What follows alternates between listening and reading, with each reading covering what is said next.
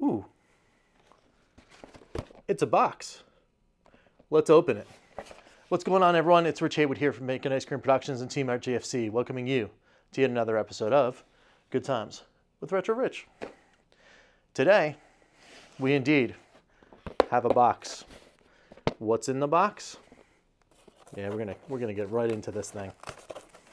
I think you guys already know. I mean, you clicked on the thumbnail. You know what's in this box. But I figured we'd go straight in, right from the jump. Just so I can get my reaction of seeing the packaging and everything, right? Ooh, there it is. There it is, guys. It is a Evercade EXP Standard Edition. Um, looking at the package right away, it is everything that I've seen on all the other videos, and it is everything that I've seen online. It looks really sharp. Looking at the package, like in in general, it all it has like a flow to it. It's got like the cartridge right here, you know that that's you know telling you to look towards the the front, and then of course like the game is telling you to go into the the thing. It's a it's a cool design. The back is really cool. It shows you um, you know not only the Tate mode but the uh, you know the regular handheld mode. It's got some cool features telling you about save states, um, scanline filters, play HD on TV. So most of the the really cool features are already uh, placed in here, and even right up on top, four to five hours of battery life, Wi-Fi, HDMI, USB-C connectivity. All that stuff is just boom right there on the box. That's pretty cool. Um, you've got, of course, included the Capcom collection with 18 games which is awesome. And you've got the Irem cartridge that comes with six games, and then of course it says Discover More, where you know you get all your extra collections, and they highlight some cool things, some companies as well as um, you know some games uh, on here, which I thought was a that's an interesting mix. Um, we'll get into that in a second, but you know you got Atari, uh, C64, and then like titles, Double Dragon 2, uh, Burger Time, Earthworm Jim, Tatsujin. Um, yeah, pretty neat, pretty neat. You know, on the bottom here, um, actually lists um, the you know it lists some of the games up here of the 18, and you know obviously all six on the Irem collection. But um, on the bottom, it actually lists every single game in the collection, um, which is kind of neat. And then on the bottom here in the Irem uh, cartridges, right right there, all the six of them, uh, just in text there. And then of course all your you know licensing information and uh, like the, the stuff you got to put on the box um, for that. This is, uh, I believe, the US uh, model. Um, and I was able to get this actually from ordering from one of the only retailers that I don't think any of us um, Evercast folk uh, have mentioned, and that's Best Buy. So when I found out that I wasn't going to get my limited edition, I had the sads. I got in, you know, I had, had the tears. They flew down a little bit, and I was like, you know what? I got to get something so we can talk to you guys about about this thing. Um, so where am I going to go? And uh, Amazon was an option, but uh, it's a little finicky here in the U.S. ordering from Amazon. You don't know. Video Games Plus was an option, but then it's got to get from the U.K. to Canada, Canada through customs to me. I just seemed like that was a, a, a thing. And Funstock wasn't an option because when I went to go order this, it was already sold out for the, just the general edition um, on Funstock because people, I guess, were running and picking up a, a, uh, a, standard edition after they found out they couldn't get their limited, huh? So, but anyway, last bits of things on the packaging. Um, there's some really, really awesome artwork on here. Um, you've got the Street Fighter theme on this side, where you got Chun Li and Ken and Zangief. Um, probably the shoulder of. Oh no, that's uh, that's actually that's uh, that looks like Dhalsim's face sort of on there. I don't know. I'll try to put a close up or whatever. And then on this side, uh, you've got um, you know like the the uh, the classic bomber vehicles of 1942, 1943. Um, you got Mega Man. Um, you got all sorts of crazy stuff uh, going on on this side. Really cool artwork. Really really neat. So anyway, it's it's actually from the uh, oh okay, it's from the the uh, the things right here. Um, I guess it's like the box art um, for the collection itself uh, for Street Fighter 2 and then Mega Man uh, X combined with 1942. So it's kind of cool. And it's a kind of a cool theme too, that they actually had this whole, these three games specifically highlighted, and then these are the actual games on the side of the cart. Um, I think that was done deliberately. I don't think when you open up the Capcom collection, these games are going to show up in this order. Um, I mean, I could be wrong, but you know, interesting, interesting, cool design choices. But enough about the artwork in the box. Let's get into this thing, right? All right, cool. Let's go. All right, cool. We got some cool stuff on the mat. We're gonna get rid of this stuff here for just a second. Move these guys out of here. And slide this one guy all the way over here. Boom! There it is. The Evercade EXP packaging. We're gonna, gonna go over here. Just get into this thing right here. All right. Very excited, very excited. Boom. Retro gaming leveled up.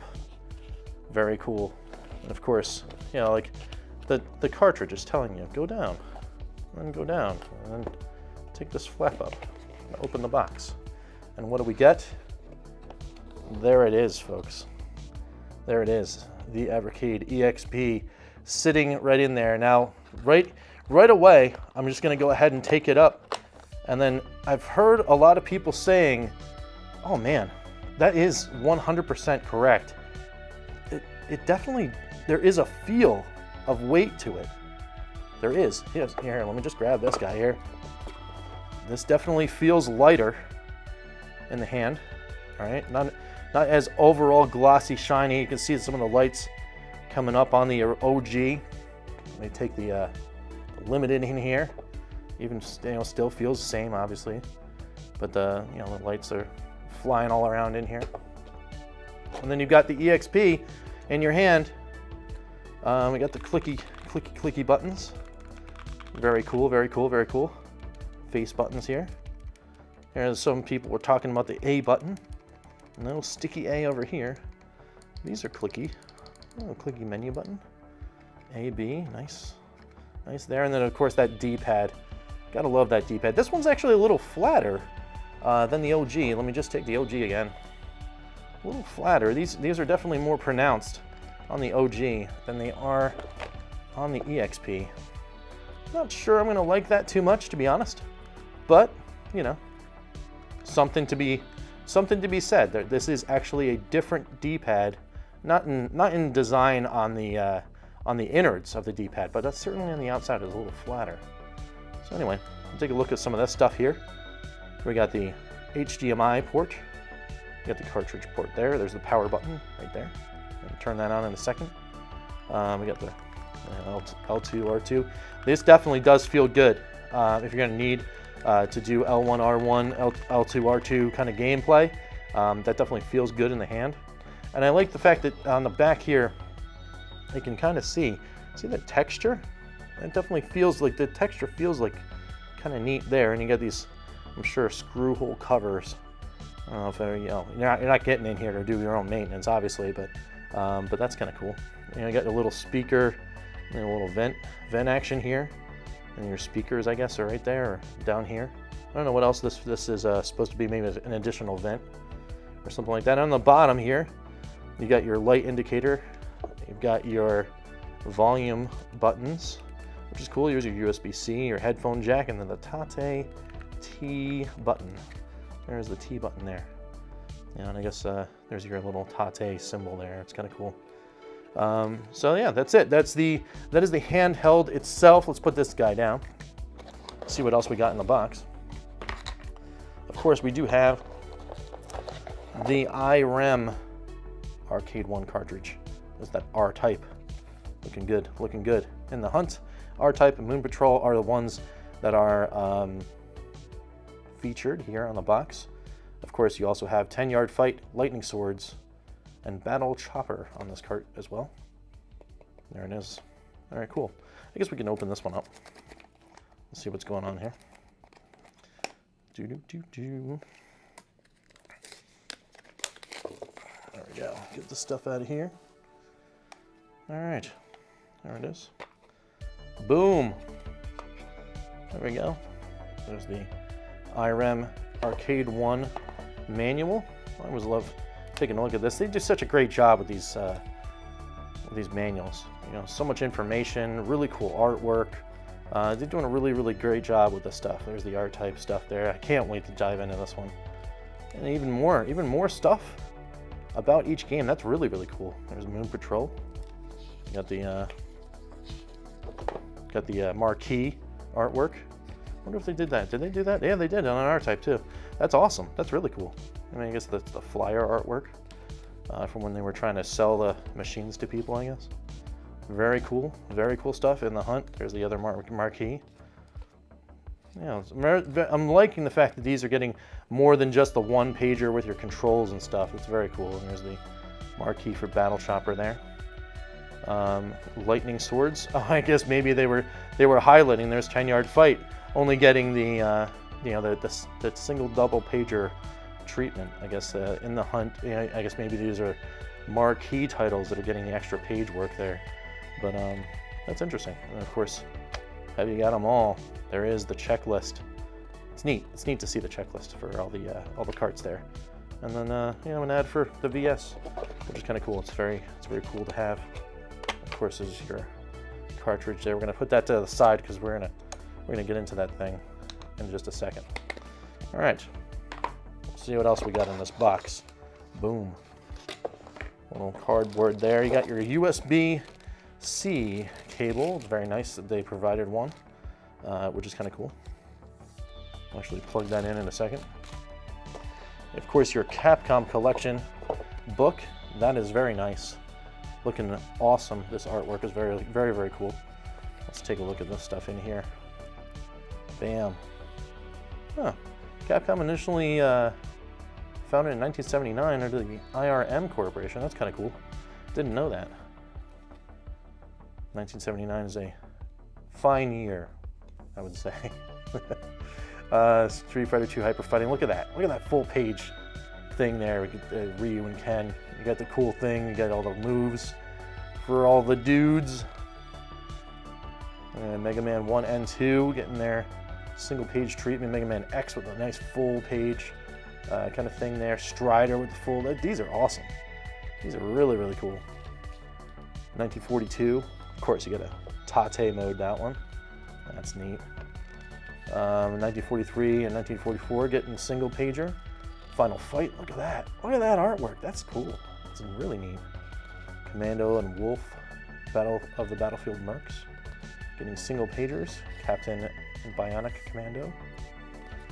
There's that full pager for Breath of Fire, boom! Man, I cannot wait to get into this one.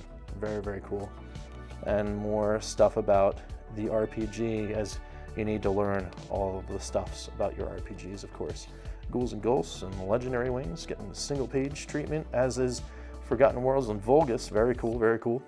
Vulgus is another one of those ones I just don't know. I don't think I've ever played it. I am very, uh, very much looking forward to. It says, look at that, it says best in Tate. Look at that. Very, very cool. And then there's the double page, long, long version of the checklist. And there you go. All right, cool. So we got that. And what else we got? We got, of course, the quick start guide tells you plug it in, hold that button for two seconds, and go through the quick start and play. Oh, there's something on the back there. There's your charging, boot up, low battery, game menu, A, B, D-pad, this is like how you do your Tate mode with the Tate buttons. Very cool. Very neat. All right, cool. Well, let's close that up and move to the next thing where we start turning this thing on. Let's go. All right, guys, we got this plugged in. As you notice, we might be not using the standard cable that it came with, but this other one that I, I found there, just the cable's a little long for where I'm recording. So anyway, let's do this. The button. got the indicator. It's on. We're gonna boot. There it is, Blaze Entertainment. Very cool, very cool.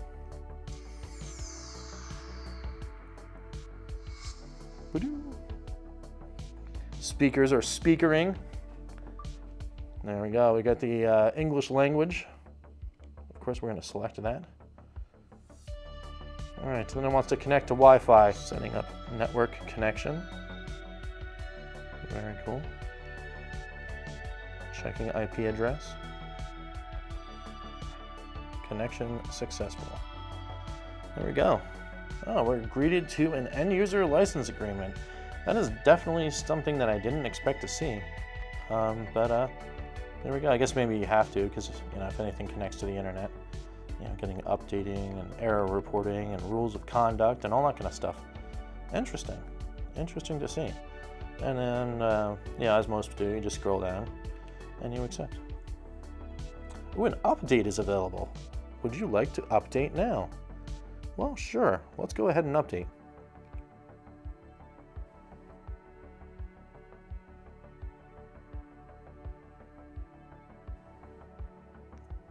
There we go. We got a boot. It's going, doing its update, writing, and all sorts of other crazy stuff. There we go. It's the boot after the update.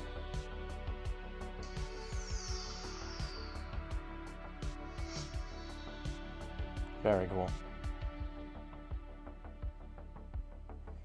All right, here we go. We got the no cartridge inserted message. We got the EXP menu we can go into. There's the EXP collection of Capcom games. We got hidden games, 0 of 5 unlocked, and then of course the coming soon menu. This coming soon menu is uh, going to be the, um, I'm imagining the Evercade Game of the Month uh, side of things. This is where you're going to get all of your cool extra content delivered, uh, just like on the VS, which is cool. You've got your hidden games. Uh, it says zero out of five unlocked. Before we go in there, let's go into the settings. Let's go into the display settings. Now, this is part of the the thing that I was most interested in. Of course, we got all of your regular things that are on the VS. You got pixel perfect, the original ratio, full screen. Um, you got your shader options, uh, strong or uh, subtle scan lines. You got your bezels, which are really cool. Um, and then you got your Tate bezels, which are interesting. That's pretty cool. Very, very neat. And there's your dynamic rate control. It's disabled. I don't know what would happen if you enabled it, but this is something I'm going to want to do a video about. This is a new feature specifically for the Evercade EXP that the OG handheld does not have. Um, you've got your, your uh, display brightness, it's all the way to the max. And you've got your screen dimming, which is currently set to one minute, that's the default. Um, I think even screen dimming might be a new, a new feature. Um, and then you got your scan lines off and on for the menu, um, which I think is also new. Um, very cool, very cool stuff. So I'll definitely, you know, like I said though, I definitely want to check out that whole like dynamic rate control thing and see what's going on with that. All right, cool. We got theme. We got the blue and gold, the Evercade grid, the Evercade EXP menu. That's cool. Let's let's put it in the EXP mode. Yes. There we go. Look at all that. Look at that cool. Look at that cool stuff right there. Got sound. Got, ooh, the master volume is actually down. Um, by default, I think it's because I haven't hit the button all the way up. There your network stuff. Accessibility features. You got high contrast mode, which is a really cool feature uh, to put in. Uh, of course, you can change the language. The system menu, you can check for updates or do your factory reset. Uh, legal and support, credits, and then of course your secret menu. Let's get into the Capcom collection and see what's going on.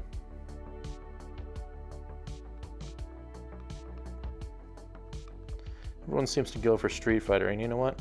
I think I'm going to follow them. Let's load it up.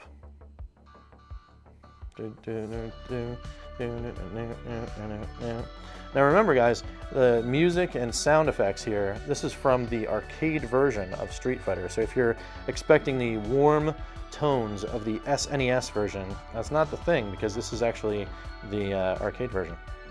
So let's put some coins in here. Boom. Do do do do do do do. Gotta gotta do Ryu. Ryu versus Ryu. Nice. All right. All right. There we go. Buttons are clicking.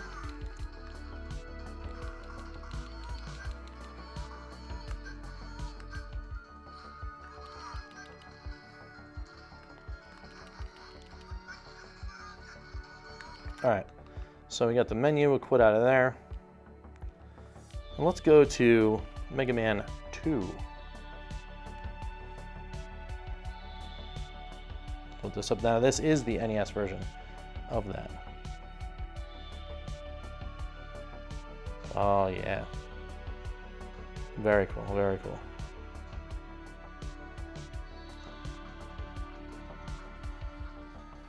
Got to do a little dance. Do do do do do. Do do do do do. Very cool. Very crisp. Also, by the way, is the screen. I haven't mentioned that already.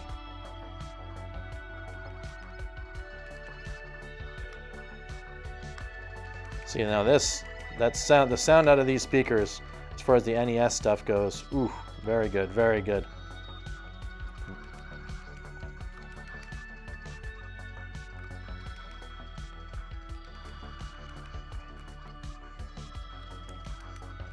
Very, very cool, very cool.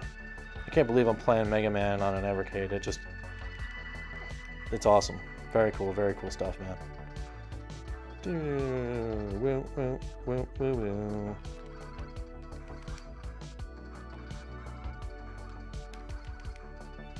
See ya.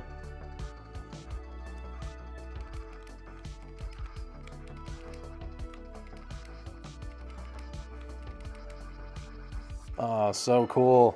So cool. All right, very cool. All right, anyway, let's move along. So we've got some of that. Actually, let me go back into the Capcom thing. Sorry, you guys want to see? I'm just gonna start it. Let's let's see some let's see some 16-bit action on here.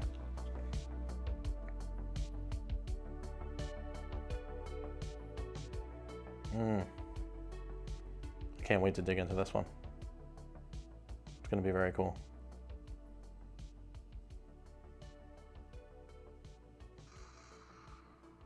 Wow, that sounded awesome. Very cool.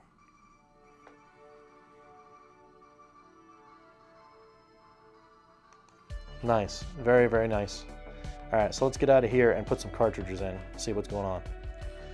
All right, so it actually went into screen dimming mode while we were while we were away. Let's actually grab one of the older cartridges the Atari collection, and it it seems that there's some like some of that cartridge tightness that some of the other reviewers were talking about. So let's find out what we get when we put in Atari Collection 1. Satisfying clicky noise. There we go. Asteroids, Canyon Bomber. Alright. You gotta try some Ninja Golf when you find it, right? All right. Get some asteroids on. Yeah. Oh yeah, that's that's that's a good time right there. Feeling good. Oh, I really like the way that the D-pad feels with this. That's very cool. Very neat.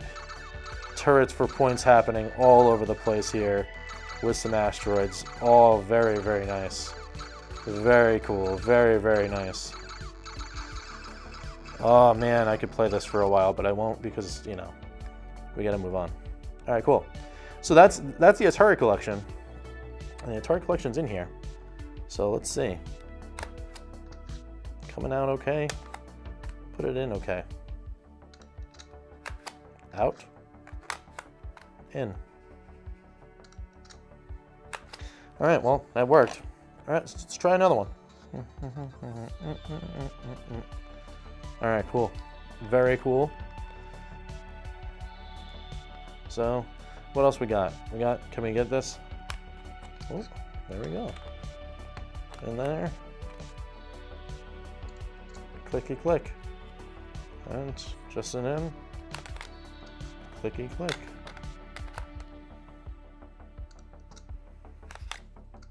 I don't know. All right.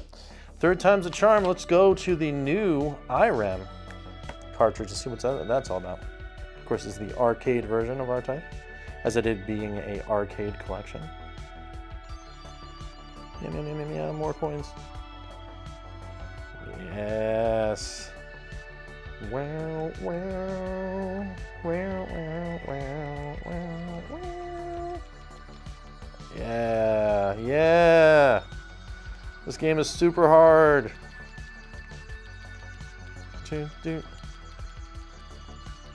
Played the Master System version until the wheels fell off of that thing. Man, this D-pad feels really nice. Again, it feels really good. There we go. We get the bonus power up. Hmm. Oh, that's okay. All right. So very cool. R-Type works. And then we can go back to the menu and we can pull out the cartridge. Clicky, clicky. And clicky, clicky. There it is. I mean, working good. Looking good, feeling good. All right, so we got that, and then let's see if we can get a little power off action here. Turn this thing off So press and hold. There you go. I put my fingerprints on it already. They said this screen, they said the screen was actually like a, not a plastic, but kind of like a tempered glass. You can definitely kind of see and feel uh, on it that is there's something there that is definitely uh, less than the plastic on the OG handheld. The OG handheld, you can actually just press down and it almost just goes right in. You can actually hear. You get the OG handheld, you can actually just kind of press in. It's just, it's just like a plastic layer over the LCD. So there you go. All right, cool. So anyway, stick these in here. Yep. Everything's all good there.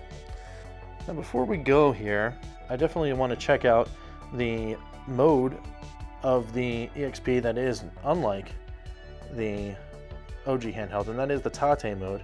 You got this little button down here, the T button, and then at any time you can go ahead and press it, and it will instantaneously, man, that is really fast, uh, go into that mode. So let's hit this button and play some 1942. Put some coins in here. All right, there we go. We are tateing away.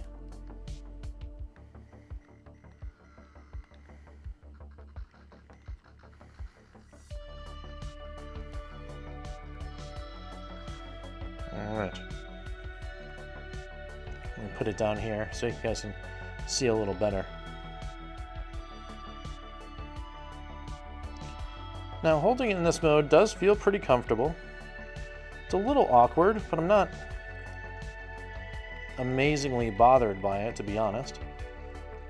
You know, it's, it's definitely doable, uh, for sure. And you get that screen real estate, which is pretty cool, you know.